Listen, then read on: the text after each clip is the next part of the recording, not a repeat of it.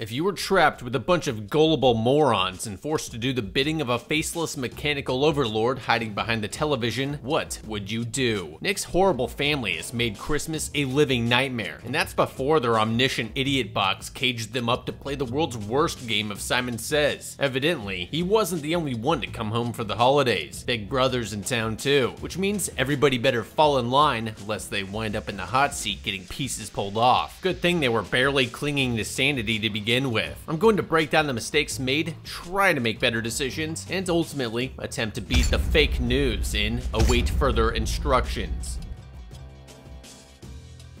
What starts off as a joyous Christmas reunion of Merry Christmas. Uh, staff policy to put personal arrangements in writing about a month in advance. You're a clerk, and your son's a deadbeat pansy.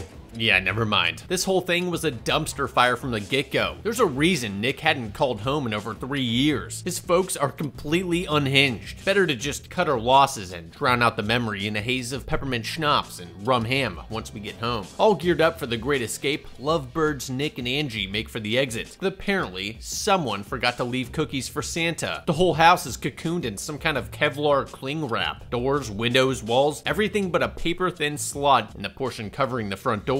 Looks like it's been fitted on purpose.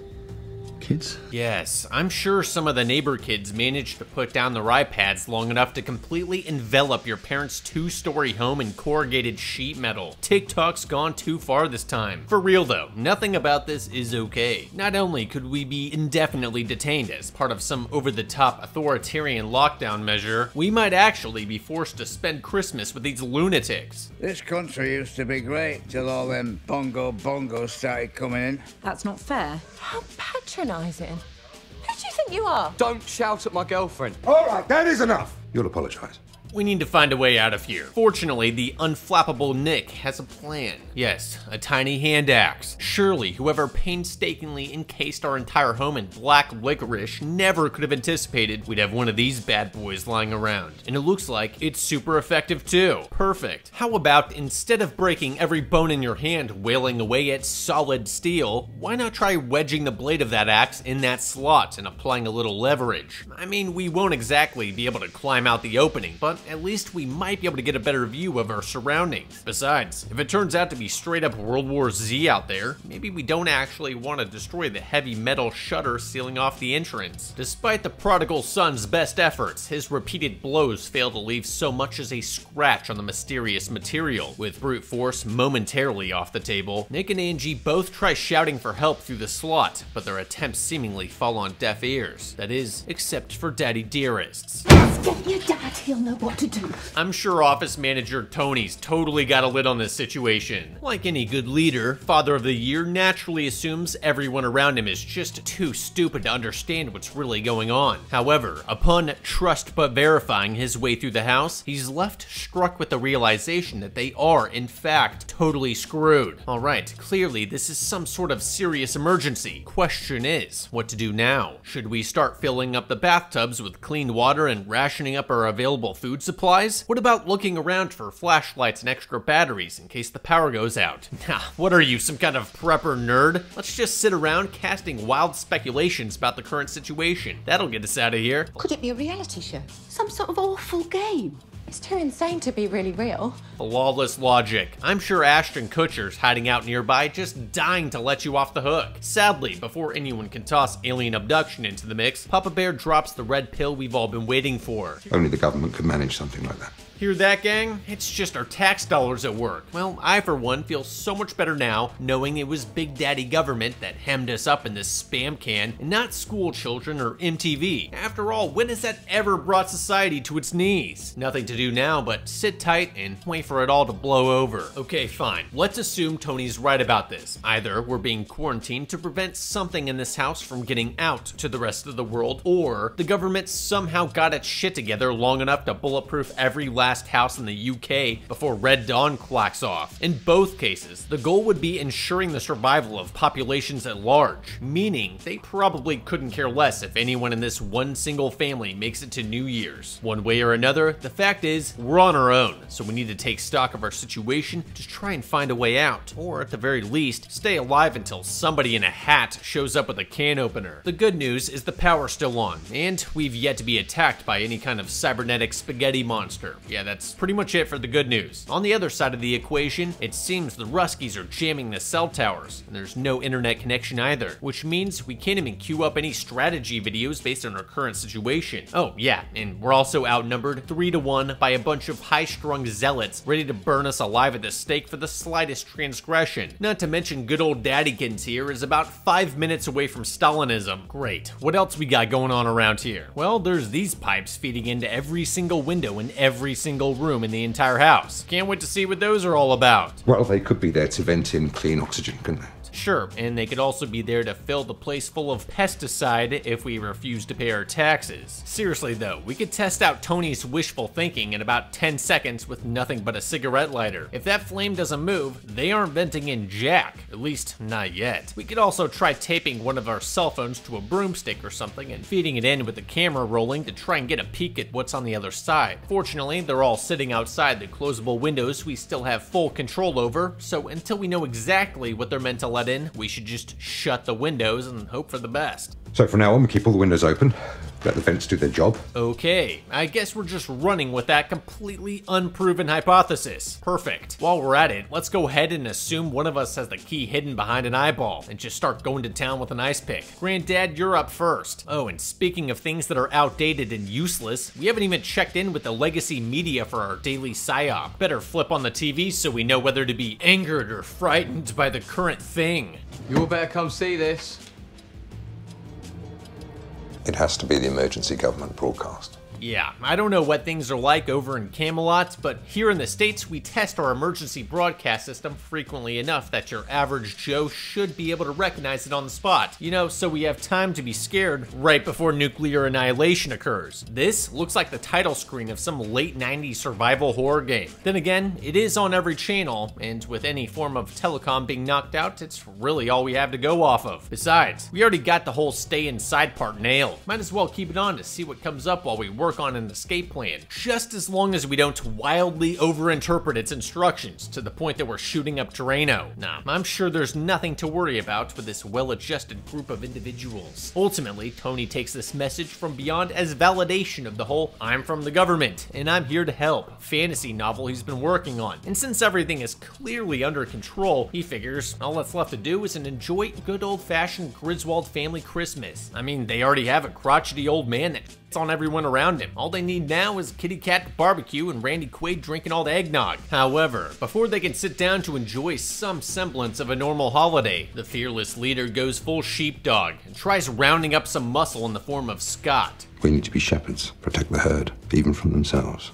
Get it? It's for their own good. That means we can do literally anything we want to them without any remorse or accountability. Someone get this man a uniform and a stick. With that out of the way, the gang gets to grubbing just in time for Granddad to start mouthing off at Angie's expense. Fortunately, Tony's able to reel things in before they get out of hand, and all it took was the passive threat of a butcher knife to the eye socket. Man, less than 24 hours in and we're already tearing each other apart. It's a good thing there's absolutely no end in sight. Now that that's settled, better carve up this beautiful bird before something else gets in the way.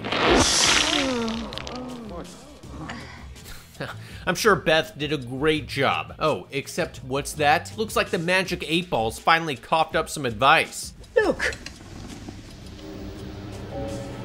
Wow, perfect timing. What are the odds of that? Yeah, it's about this time you start to wonder if you're being watched. And then you remember the pint-sized Predator drone you've been carrying around in your pocket for 15 years. Alright, I get that coincidences are totally a thing that can happen, but either this message was broadcast to multiple homes as a general precaution, or it was sent specifically to us, which would mean they've been monitoring us since well before the walls went up. Either way, are we really supposed to believe literally all of our food is contaminated. As in, everything down to the vacuum sealed can of black olives that's been rolling around in the pantry for six months? If that's true, we must be more contaminant than creature by now. Whatever, at least if some of us decide to blow this off, it doesn't directly impact anyone else, right? I refuse to entertain your clever notions that could put this family's health at risk. Really? You're not even gonna consider the possibility that they got something wrong. Let's at least store the food in the refrigerator in case it changes its mind 30 minutes from now. Hey, what's Lumpty doing shoving us around like that? We're just talking. No need to go all Stasi on us. This is a bad sign. Tony's got a full-blown henchman to carry out his bidding now. It's only a matter of time before he starts rewriting the history books to say he invented golf. If I were Nick and Angie, I'd grab as much of the bottled water as they'll let us get away with and lock ourselves in the upstairs bathroom. Also, where's that hand axe? The last thing we need is for Muscle Brain and the God King to establish a monopoly on violence. Having eaten nothing, the family gathers in the living room to open presents, just in time for the latest drop from the almighty tube. Wait, Decontaminate yourselves, strip and scrub all flesh with household bleach.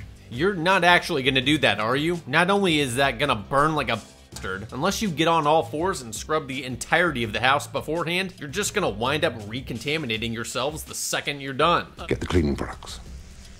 Of course. Well, the good news is that unless Tony plans on personally overseeing each person's decontamination, we can just dab ourselves with a little bit of bleach water and pretend we. Oh, no, they're actually going through with it too. Yeah, I hope you don't have any open cuts or anything. With that little purification ritual out of the way, Nick and Angie come downstairs to apologize for behaving like totally rational human beings. But before the boots are sufficiently licked, jolly old Santa Claus drops one last present down the chimney. Apparently, he spent a little too much time over in Portland this year. Oh, and you know the man on the teleprompter's been dying to tap out this little gem. Okay.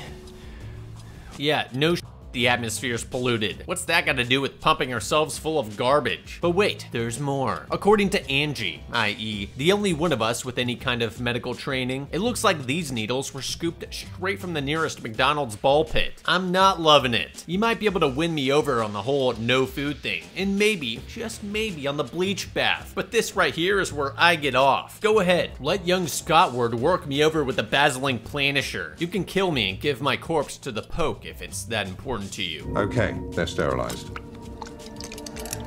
Mmm, hepatitis stew, just like mom used to make. Yeah, that doesn't change a thing, but don't bother telling these idiots that. Nah, a little splash of warm water is all they need to actually go through with this. Even Kate, with one in the chamber, only needs about 30 seconds of convincing to roll the dice on her unborn child's life. Look, there's two left. I wonder who the holdouts are. Doesn't anyone find it the least bit suspicious that they knew exactly how many hypos to slip under the tree? You know, given only Tony, Beth, and Gramps actually live here, and Nick and Angie only dropped in by surprise at the last minute. Seems like they might be watching us. I'm all for a little purposeful compliance, but this seems a little bit like the Russian roulette scene from Deer Hunter. Now's when you squirt the mystery solution into the fireplace and tell Tony where to shove it. I'd rather take my chances with his response than whatever our reaction to the mystery shot might be. I mean, you could try to weasel out of it by pulling the whole wooden sword through the armpit routine, but given all eyes are on us right now, I don't think that's gonna slip past them. Or you could just do it and potentially sign yourself up for a lifetime of misery. That works too.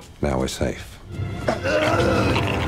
What's that? I couldn't hear you over the sound of the karma of Granddad horking up his insides. Oh, but just wait until you hear how Bossman rides the mental pommel horse on this one. You see, according to Dr. Tony, the fact that only Pappy took the hardwood temperature challenge means the medicine totally worked, just not on him. Turns out, had we not jabbed ourselves at the exact moment we did, we would have been hacking up the asphalt right alongside him. Let that sink in for a moment there, Angie. Oh, and wouldn't you know it? The TV somehow knows the exact moment we all injected. Nothing to read into there. I'm sure they just estimated the amount of time it would take us to mull it over and watch our not so loved one puke himself to death. Those algorithms, getting pretty good, right? There really are some ingenious and sensible people working in government these days. I'll say, such a genius cost-cutting measure reusing needles like that. Surely only a high-powered bureaucrat mind could come up with such an idea. Speaking of which, the TV wants its junk back. Apparently there's plenty more families out there in need of their cootie shots. Better have Scott round up the fun sticks and send them out the front door. I'm sure there's no way a knuckle dragger like him could ham that up, right? Ye of little faith. It's because you didn't believe enough, Scott. Hopefully that'll teach you for not blindly trusting the government's plan for your well-being. That's a red flag if I've ever seen one. It's not like he was gonna crawl out of there. This was clearly a disciplinary strike. Gotta make sure the subjects know not to push the boundaries. Whatever. Better heat up the skillet before Simple Jack passes out from blood loss. The good news is Tony's right-hand man is now pretty much nothing but a right-hand man. Should make it a lot easier to roll out the guillotine with him partially incapacitated like this. By the way, you might want to consider going that route sooner rather than later. King Tony's getting crazier by the minute. You called me Squelcher. Why? Because you wet the bed. Of course, more daddy issues. What a surprise. Why break the cycle of abuse when you could just pass it on to the people that depend on you? After all, you turned out just fine. I really hate to say it, Nick, but you're probably gonna have to pull an Oedipus on this one. Well, the first half anyway. I mean, unless you can find a way out that doesn't involve more dismemberment, and it's not looking good. For Christ's sake, they even managed to weave that metal crap under the tar paper in the attic. I guess you could try chipping away at the chimney shaft with a hand axe, although since that's where the needles came from, I'd say they probably have that avenue covered. Plus, I don't see that happening without getting Tony's attention, and he probably won't take too kindly to an impromptu remodeling without his permission. About the only other option would be tunneling out underground, but given the rate at which these instructions are escalating, the others will probably wind up cutting our hearts out on an altar before we ever make it out through the foundation. Better start preparing for when things finally come to a head. I'd start surreptitiously squirreling away all the sharp objects I could find, if only to keep them away from Scott and Tony once the shit really hits the fan. Although, I'm sure it can all wait until morning. Come downstairs. There's something we need to discuss. Ah, fond memories of when my parents used to say that. What's the magic conch want this time? Bloodletting? Nah, it just wants us to isolate one of our own for being infected. Good thing it doesn't provide a single bit of guidance for who that might be, or what they might be infected with. Oh, but don't let that stop Kate from hurling accusations at Angie for having the sniffles. Who ever heard of someone getting sick over the holidays? Hey, what about Scott? I mean, he literally just lost three fingers checking the oil on the containment shield. Besides, if it really is Angie's head cold, you'd all be infected by now too. Hey, I know, let's put it to a vote. Everyone who says we should imprison the only person with medical experience during a crisis of indeterminate magnitude, raise your hand. And mom abstains. Well, looks like that settles it then. Angie, your group mates have voted to lock you up for no good reason. Democracy. Oh, hold up. Looks like Nick wants a recount, and he's got a lamp cord? Jesus, dude, I think you might want to use the other side. Yeah, like that. Naturally, this bright idea falls to shit almost immediately, but before Tony and Scott can dish out the punitive beatdown, Beth comes in clutch with a little tactical insanity and stops everyone dead in their tracks.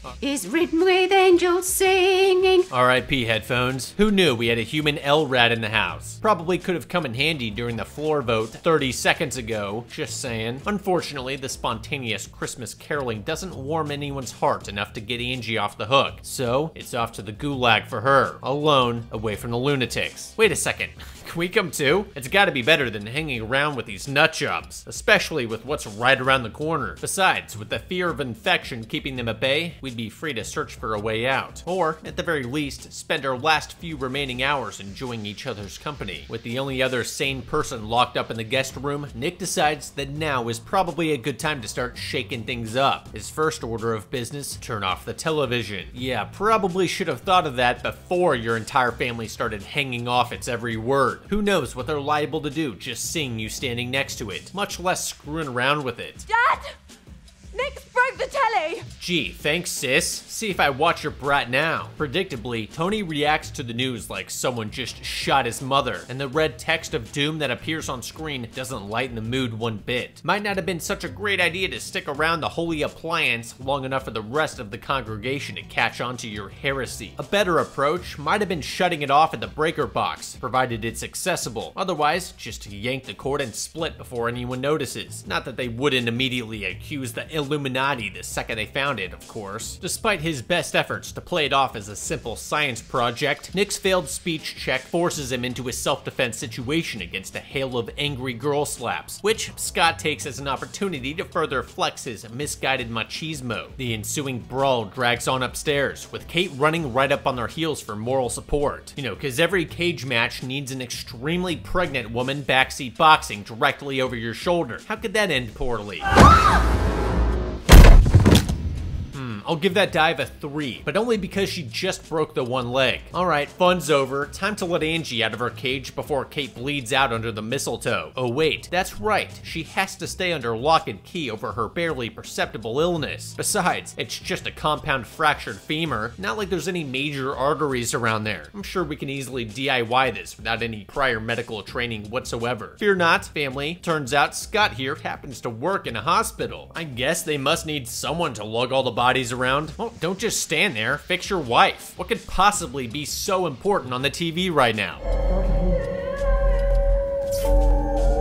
That's reassuring. Unfortunately, this little fiasco proves to be more than Dr. House can handle, prompting Nick to assume control over his sister's care. As for Admiral General Tony, all this racket's really done his head in, so he decides to retire up to his study and spend the rest of his night pondering life's great mysteries. Honestly, it's still probably the best decision he's made all night. Seriously though, Kate's a goner unless we can get her to a hospital. I mean, we could try scrounging up some antibiotics to try and stave off sepsis for a little while, but there's pretty much nothing nothing we can do for her here short of a mercy killing. As for the bun in her oven, it's 50-50 whether Kiddo's still kicking, and even then, they probably won't be playing for Liverpool when they grow up. Of course, if mom checks out, we'll have to perform an emergency cesarean to have any hope of getting them out alive. Hear that, Scott? Might want to dig up that turkey for a practice run. We're gonna need you on deck here in just a few. With her daughter comfortably screaming herself to death on the couch, Beth tries asking nicely for the TV to drop a couple stim packs down the chimney. Yeah, let's see how that works out for you. Meanwhile, Nick consults Angie through the door, only to learn that Kate's pretty much beyond boned if they don't find a way out fast. He relays this little pep talk to Scott hopes of winning him over, but the mouth breather is still dead set on playing follow the leader, cause that's been working great so far. Okay, Nick, time for a show of strength to win the hearts and minds of those around you. With Tony sequestered off in his playroom studying siege tactics or whatever, now's our chance to shut the TV down permanently before it starts playing salad fingers. I'd say just snip the cord and be done with it, but they probably would just try splicing it back together. Better to just find something heavy and avoid the shit out of the warranty before anyone anyone can stop you. Of course, Dad's gonna hit the ceiling the second he hears the glass break, but even a desk jockey drone like him should realize killing us won't bring it back. Besides, any second now, it could tell him to scoop her eyes out with a melon baller. At least with it gone, he won't be getting any more coaching. Having failed to enlist the help of his brother-in-law, Nick starts searching for a way out, but there doesn't seem to be any way around the ubiquitous barrier. Yeah, just go right back to beating on the front door. You were so close last time. Eventually, Harry Houdini runs out of steam and heads heads upstairs to answer nature's call. Fortunately, once again, the bathroom proves itself a source of all great ideas. Mid-flush, it dawns on him that the sewer pipes must be unobstructed for the plumbing to still be working. Perfect. Now we just have to hack ourselves to pieces and take turns flushing each other down the toilet. Any volunteers? The realization leads him to believe that the area around the pipes must also be free from containment, because that's how plumbing works, apparently. Oh, well, it's worth a try. Just be ready to face the consequences if someone catches you with your pants down. After chipping away at the wall around the pipe, Nick fastens his phone to a broom handle and sends it through to record what's on the other side.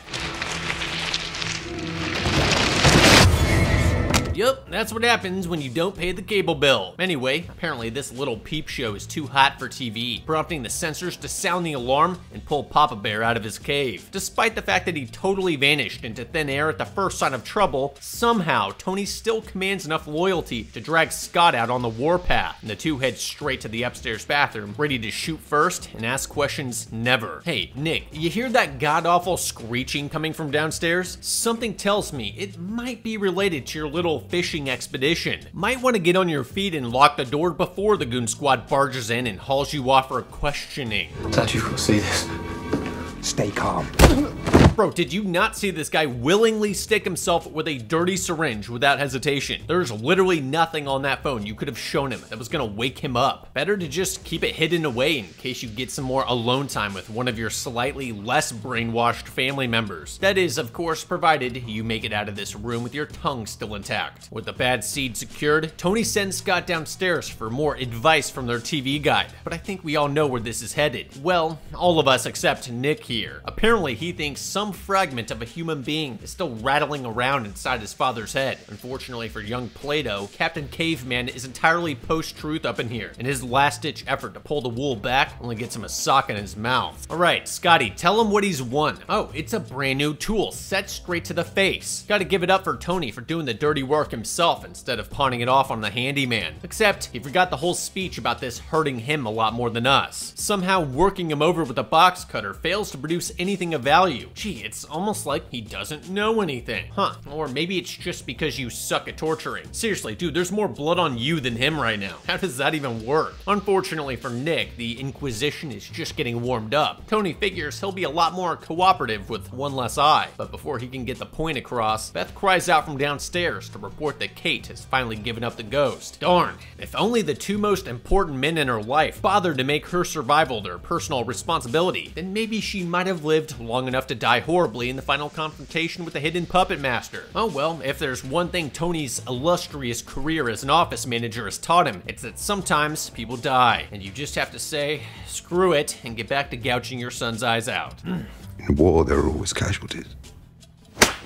Well, it's about goddamn time someone did that. Apparently, Caligula was only one slap away from a nervous breakdown. It's a good thing we figured that out now that two of us are dead and there's an innocent child suffocating to death inside its dead mother. Not to mention the fact that the only person that could actually do anything about it got locked up to placate the whims of an ancient television set. This is all going so swimmingly. Speaking of Angie, she's finally capitalized on her many hours of isolation to try and find a way out of this dump. Using a wire hanger, she manages to weave a hook through the wall material and pluck loose an individual strand. Wow, looks like some kind of camera. You just found the one weak spot in the impenetrable husk trapping us inside. Forget the camera, grab every last hanger in that place and tear the rest of them out. Even if you can't clear enough space to climb out, you might be able to get a glimpse of what life is like on the other side. I mean, for all we know, the police have been trying to saw their way inside since dinner.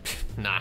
In all likelihood, the rest of the world is just as screwed as we are. I mean, come on, do you think some kind of all-seeing cable monster would randomly manifest itself just to torment this jolly bunch of Whatever. I guess we'll never know because instead of investing all her energy on the single most important discovery they've made so far, Angie breaks away from the window to go snooping around the cabinets. Hey, look, another even older television set. Not wanting to miss out on the annual Christmas story marathon, Angie fires it up to find a cryptic countdown with only 23 minutes remaining, followed by the same I see you message Scott saw earlier. I'm gonna take a wild guess and say whatever happens at the end of that countdown we're probably not gonna like. Might want to set your phone timer to match that one on the screen so we know when to duck and cover. Wait, why are you taking off the back panel? I mean, the words don't actually come from inside the TV, do they? Do they? And it's alive. Great. Well, hopefully that means we can make it unalive. I'm no electrician, but I'd say a good place to start would be by ripping out its still beating heart and holding it up to the cameras. Meanwhile, back downstairs, it seems the main monitor isn't too keen on Angie messing around with Junior. It flashes a message across the screen stating a quarantine is being activated in the bedrooms 1 and 2, which apparently involves filling them up with some kind of thick black smoke. Yeah, I know I haven't exactly been taking this thing at its word so far, but I got a feeling those skulls and crossbones are legit. Lucky for Angie, Beth and Scott freed Nick in time for him to struggle helplessly against the locked door. Jesus, of all your dad's failures, chief among them has to be raising a son that can't kick an interior door. Put your ankles in it, dude. Your girlfriend's life depends on it. Of course, it probably couldn't hurt for her to actually try and do something to save her own life, like stopping up that pipe with her jacket or shutting the window. Nah, better just stand there and wait for someone else to solve all your problems. I mean, it worked in Jurassic World Dominion. Oh, and sure enough, Scott manages to chase down the keys before it's too late, although it probably would have been faster if he just shoved Nick out of the way and put it in himself. After all, he's got a personal stake in her survival as well. Party's not over yet though, as Beth went and locked herself inside the bathroom somehow. I don't get it either. Anyway, the guy who couldn't break through the fiber board with all his strength decides he's gonna Superman punch his way through laminated glass, instead of finding literally anything he could use to augment his striking power. It goes about how you'd expect. あっ!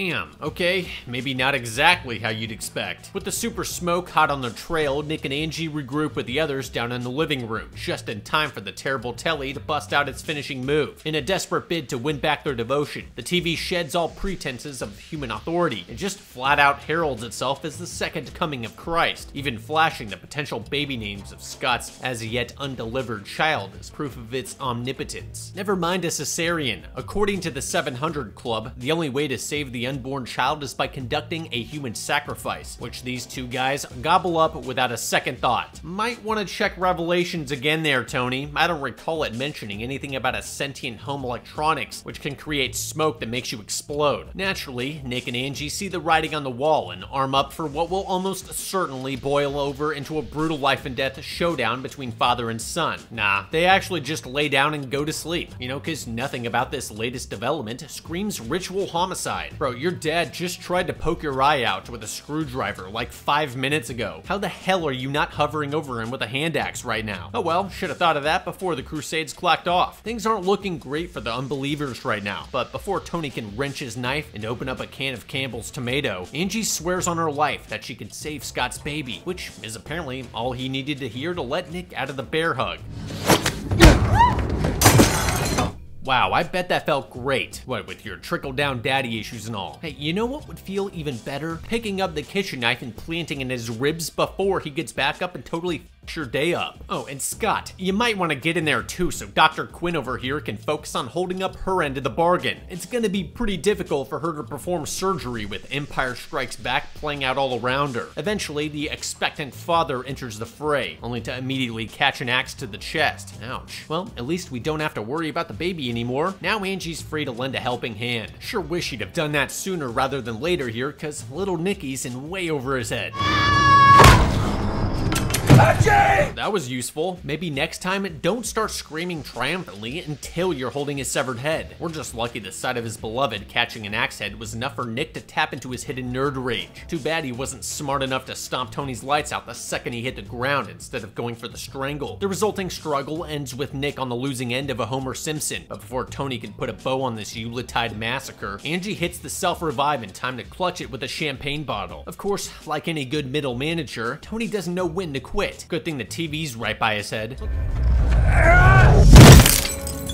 Looks like he should have sprung for the flat screen. With the battle finally over, Nick and Angie are finally free to enjoy the holiday season in peace. Oh, except not really, because they still haven't found a way out of this hellhole. Plus, there's still one last control freak left to put down. What, you didn't think it was over, did you? Now, we're stacking boss fights, Elden Ring style. And it doesn't look like this next one's going down so easy. Might want to splash some water on that thing before it strings you up like a meat puppet a la Tony. Then again, it's not even plugged in right now, so I'm guessing it plays less by electrical rules and more by the Necronomicon. Knowing when they're beat, Nick and Angie retreat to the next room over and barricade themselves inside with a single bookcase before calling it good the second the ground stops shaking. After all, I'm sure it's probably not upset about us smashing its screen or anything.